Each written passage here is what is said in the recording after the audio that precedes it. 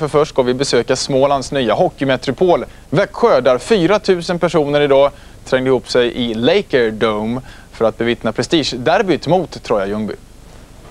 Stora, starka Troja har länge dominerat hockeyn i Kronoberg. Nu har lillebror, köpgänget Växjö, rest sig och blivit storebror.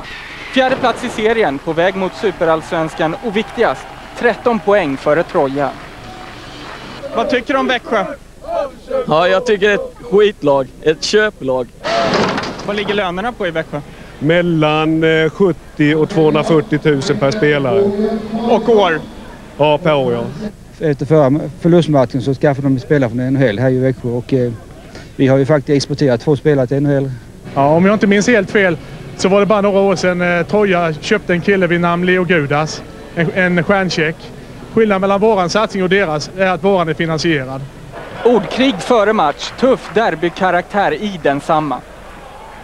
Lite, lite derbykaraktär är det på matchen och det ska smälla då. Så det är kul är det. Du vill gärna sänka Växjö? Ja, hemskt gärna.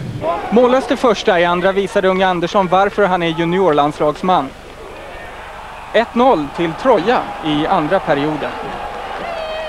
Växjö fick kvitteringsläget i powerplay. Men Jens Nyström missade vid bortre.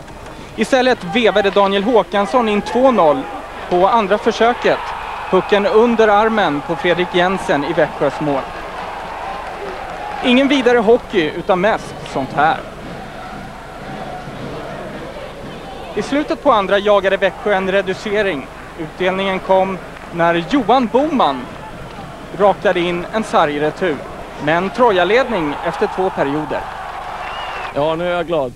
När, när juniorerna kom och visade vad de verkligen kan mot detta köplaget Växjö. Så jag tycker, jag tycker de gör en helt underbar match. I tredje parkerades junior Andersson som en trojansk häst framför Växjömålet. Det slutade i en stolpträff.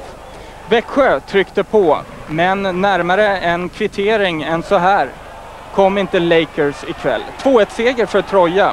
Det var som förr igen i Kronoberg. Nej, det här är det bästa jag varit med om nästan tycker jag. Det är helt underbart är det. Vi vinner mot Lakers i deras arena. Helt underbart. 2-1. Riktig kämpamatch. Alla i laget offrar sig 110 procent, täcker skott och allting. Så det är jätteskönt. Vad tjänar du på din hockey? Ja, det är fickpengar ungefär. Vad ska du ha för att gå till Växjö då?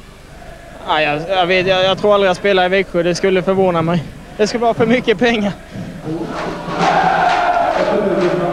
Och här har vi resultaten från Allsvenskan södra. Mora-Oskarshamn 3-2 efter sudden death. Mörrum-Halmstad 4-2. Rögle-Nybro också 4-2. Västerås-Arboga 0-4 och Växjö-Troja-Ljungby alltså 1-2.